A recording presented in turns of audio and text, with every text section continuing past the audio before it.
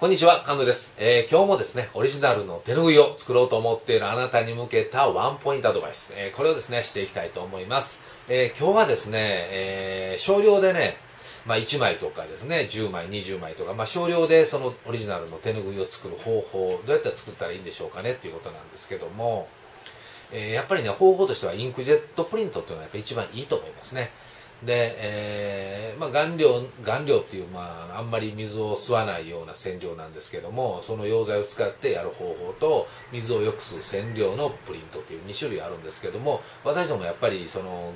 ね、ザラザラするのも嫌ですし、水吸わない手ぬぐいなんていうたら紙と同じなんでね、もうそんなんも嫌なんで、やっぱり染料のプリントをお勧めします。で、えその場合やっぱり1枚からでも全然できるんですよね。ですから、あのーまあ、コンピューター上で、えデータを作ってですね、それを、入稿いただく。それで全然、えそこからプリントアウトするみたいに、えープリンターでね、えー紙に印刷するような形で手ぬぐいに印刷できますので、